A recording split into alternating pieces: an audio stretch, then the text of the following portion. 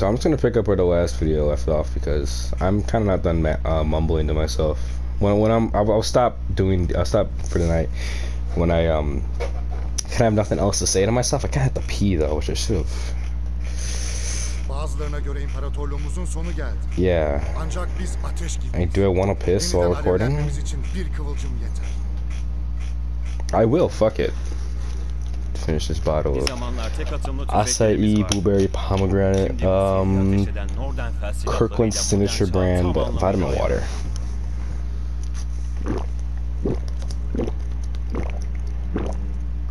Biz silahlarımızı küçük ölüm elçileriyle dolduruyoruz. İşgalciler şunu vurur Biz ıskalamayız. Alright. Go piss. So. Alright. Oh, I don't want to play as the Turks. I just realized that. God, I want to play as the Brits. Fuck. Ah, oh, fuck. No, I actually of a funny story about pissing bottles. This is actually really fucking gross as well. So, when I was in eighth grade, uh, took me until like it took me a couple years. It took me till I was about a freshman in high school to uh Damascus freshman in high school to get over like seriously start getting over my fear of the dark because I still am kind of scared of the dark. I'm fucking I'm gonna man up and fucking admit that I'm scared of the dark. It's fucking scary. Alright? Scared of it and what's in the fucking dark. You don't know if a goddamn fucking homeless man with a hard on with a shank made out of a fucking plastic bottle is gonna jump you and stab you in the middle of the goddamn night. Out of breath and talking so much shit. You don't know that. Take it in a plane again. Let me explain. Oh, bomber, bruh. You don't know that. So, yeah, this thing is really fucking loud. My god, I'm jumping out of this fucking thing. I'm gonna parachute. What's this enemy aircraft? Which, uh... Are you fucking... okay? That it? I'm still alive. How? Alright, anywho. So it took me a while to get over my fear of the. But, I... So I used to piss in bottles a lot, just like I did right now. Um, I still I do it sometimes. I pour them out. I go off my deck and pour them out. Uh, but but I had this two liter Coke that I had I kept in my closet for like a couple months, a couple weeks.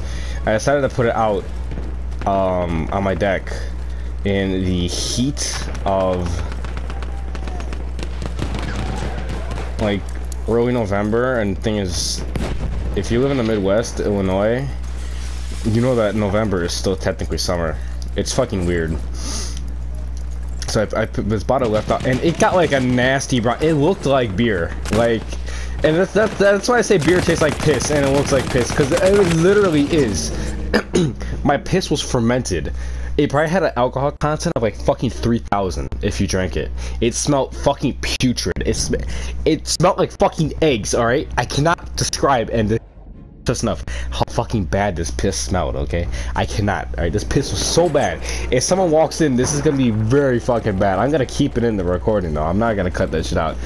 Quite frankly, because I don't know how to cut shit out properly yet. I'm still learning the ropes of video editing, you know my nigga. Someone just got glicked. but anywho. Um, so this piss smells so bad, like, you can imagine, alright? Alright, we had this friend Jake. We have this friend Jake. He's kind he's kind of weird nowadays. He doesn't really uh, talk to us much. You kind of have to talk to him, and he's he's this is group chat. we're all in, the four of us, and he only texts when he either needs something or he just wants to say something. He's really dumb. The most like conversation I've gotten out of him over the past two years was probably back in February. I know I went off topic, but this is I just got a little background on this guy.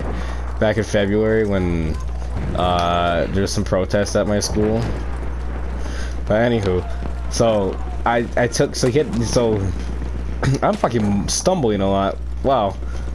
My friend Colin knew his locker code. because he used his locker for welding because he his locker was on first floor and Colin's is on third and it was a long walk from We are losing objective. I'm doing really bad right now. I need a shotgun. Also, because I'm talking.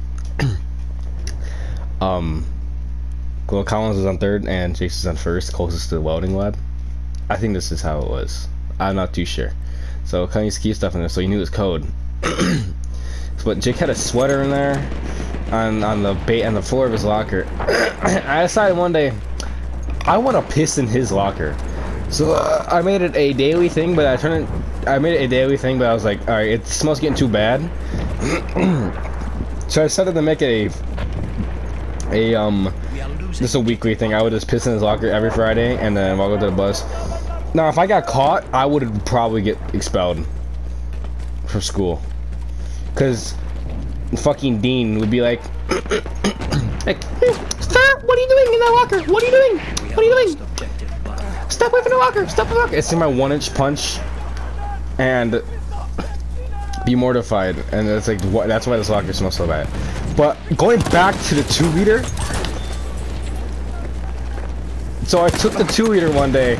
I had it in my backpack, and this thing was full to the brim, right? And the, the label was sun bleached because it was, you know, the November heat still of it being a little warm out in November for some fucking reason. And um, this is 2019, 2020. This is probably, it. I guess, the November in 2019. All right. But I took the bottle, put it on my backpack, and I crouched down. I opened the locker's open. I crouched down. I started pouring it. You know, I just kind of held it over a locker. I kind of held it down on the sweater, and these two guys who me and Colin weren't really friends with were just watching. And I'm looking away. I'm looking for a teacher or something like that. You know, check the coast is clear. And as I'm pouring it, you know, I'm probably maybe halfway down the bottle. I uh, I didn't I didn't really expect it to start leaking. Through. I was really stupid, and didn't expect it to, to start leaking through. You know, because the lockers you know have holes in the bottom of them, or you know it's just liquid and it's in a space that you know not gonna be contained for a long. But I inspected the leak, and they're like, there's two other beaners right there, and they're like, "Yo, man, what the fuck?" And look, and the piss is leaking out. This, it smelled so fucking bad. Smelled so goddamn bad. Fucking putrid. All right, it's the word to describe it. I already went over how bad it smelled, but.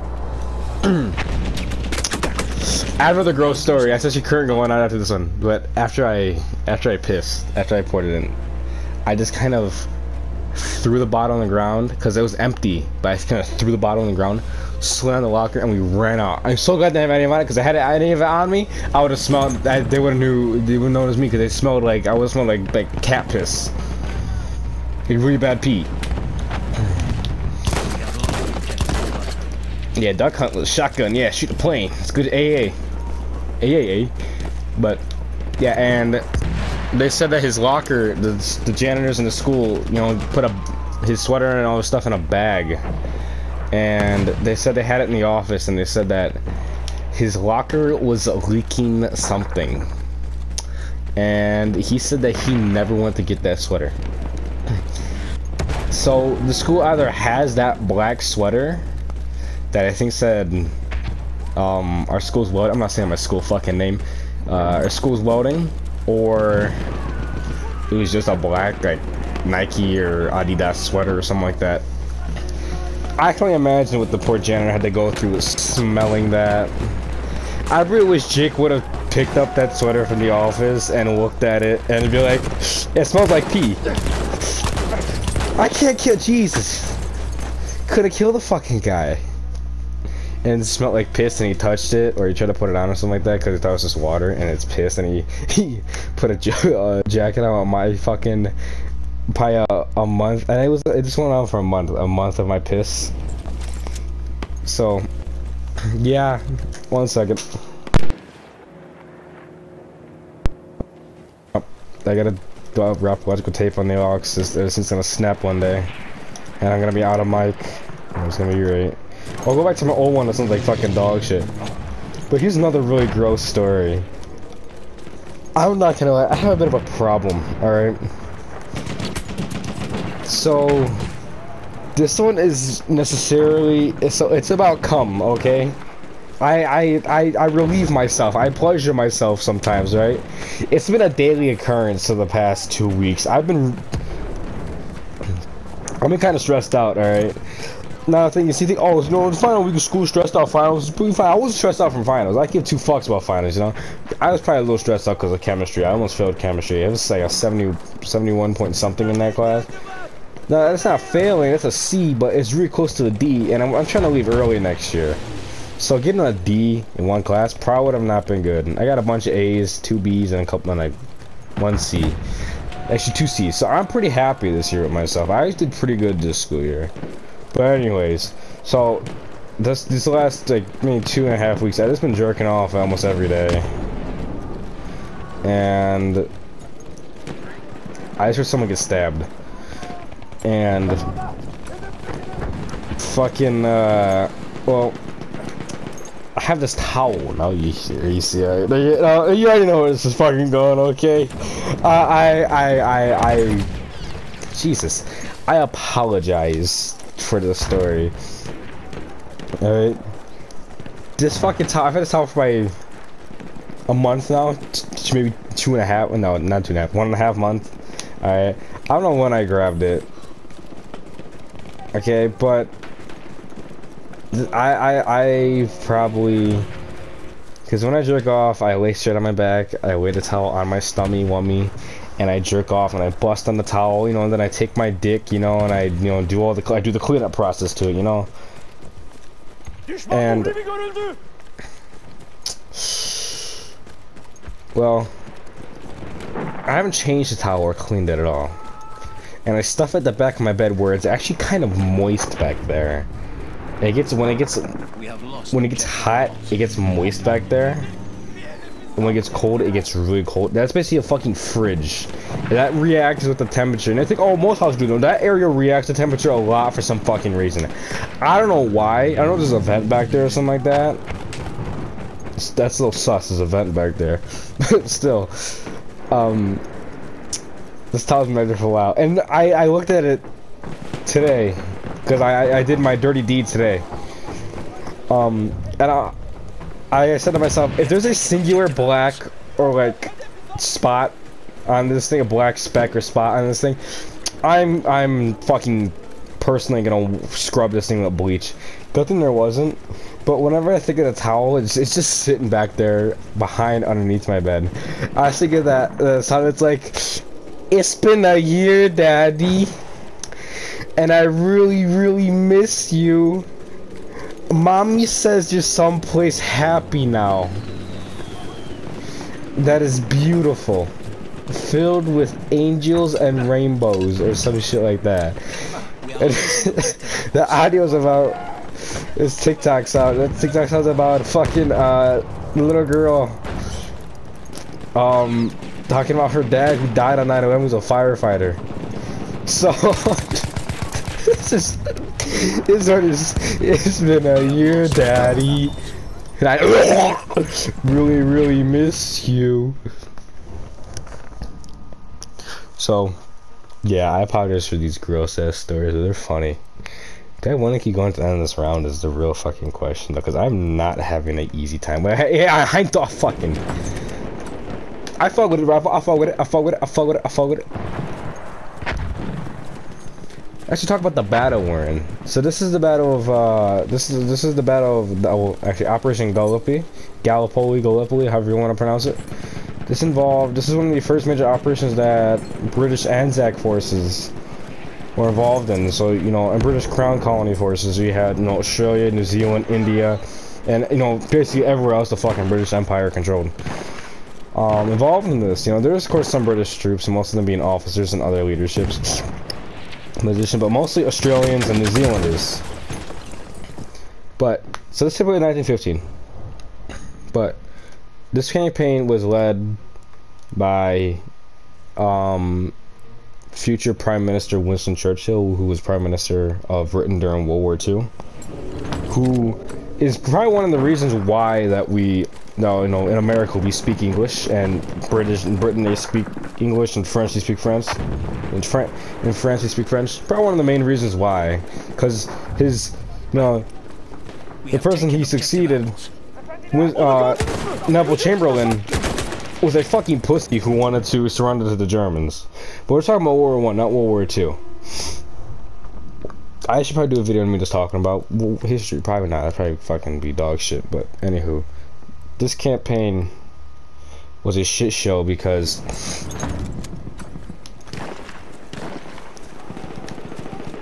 see that boat that kind of had a Trojan horse, and before they were gonna launch their attack, they ended up doing a massive bombing. They did this multiple times. They ended up doing a massive naval bombardment, which let the Ottomans know that they were attacking. Because if you just kind of launch a bayonet charge, you know, and you're in your trench or in like your fucking, you know, dugout, you know, you're not gonna be, you know, prepared fast enough, or they're not gonna have, they're gonna have time to repair, but it's not fast enough, you know. When you have a naval bombardment that you wait to finish up, that takes like 12 to 15 minutes or shit like that, and then you Jesus fuck. And then you fucking you know you send troops after you know. That's a great idea. So their element surprise is fucked for most of it We have lost objective apples. and this fucking a really cool thing I said, I said at the end of the campaign of in this um if the British would have taken Gallipoli they could have pushed on into Turkey and probably you know conquered Turkey and had more of the world you know than they already had under control. Why am I such a shit shot? I used to be so good with this rifle.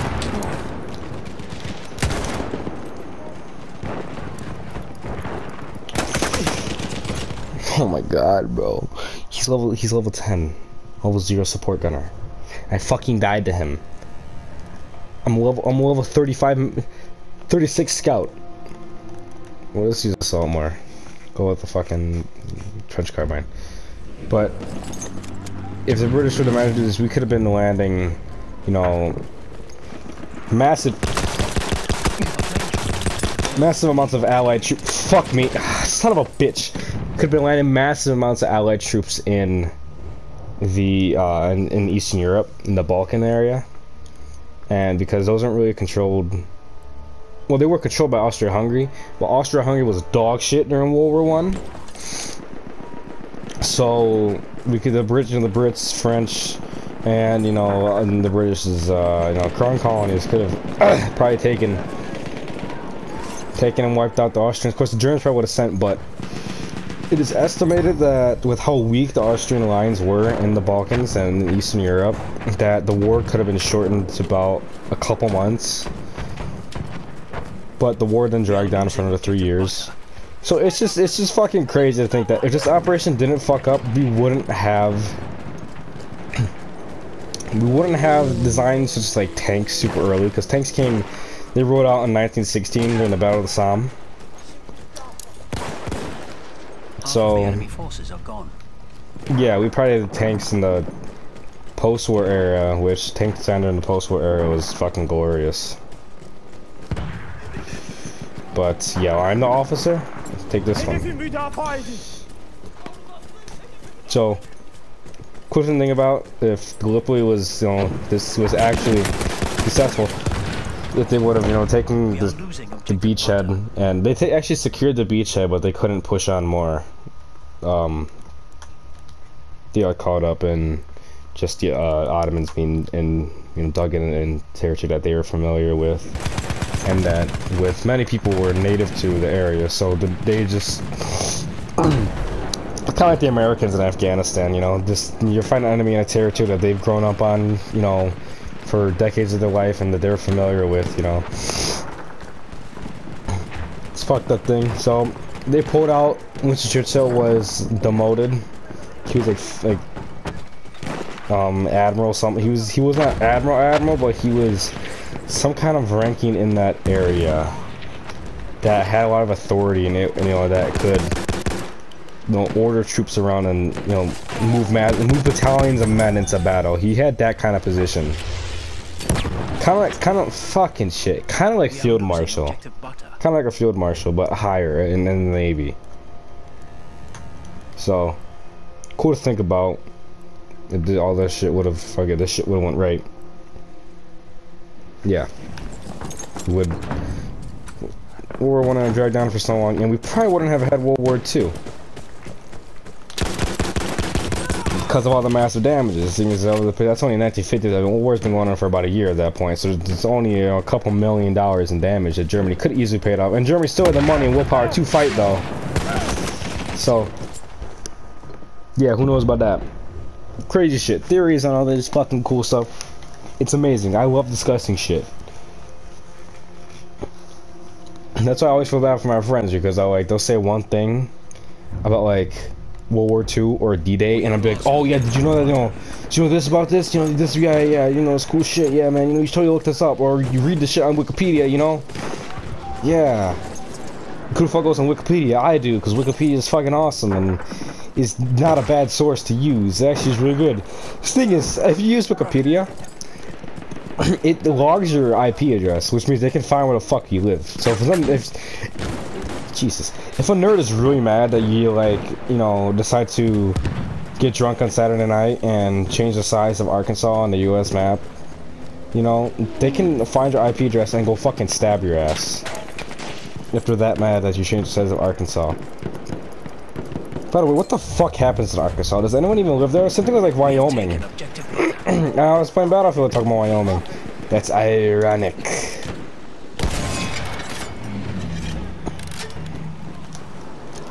This campaign's going for a really long time. I might have to cut this short right here. I did say I was gonna stop when I stopped blabbering on.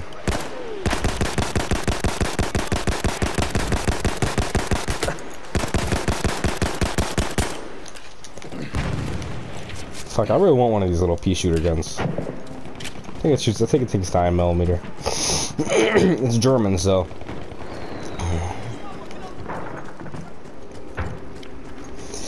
Something like that. Who knows? I don't know. Maybe 380. Listen, no, 380 is 9 millimeter short. It's short of 9 millimeter. Look at that sunset, though. That's really nice sunset. The sun never sets in the British Empire.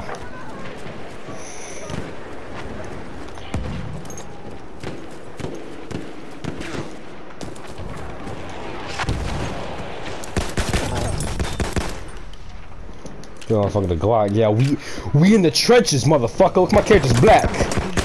Oh man, I got gunned down. Hey, rip my homie. He did nothing wrong. How low, my baby? My baby, low, my baby. I nursed him with these load. Why load? We have lost objective butter. My dumbass really thinks I'm to the piss story and the um cum towel story.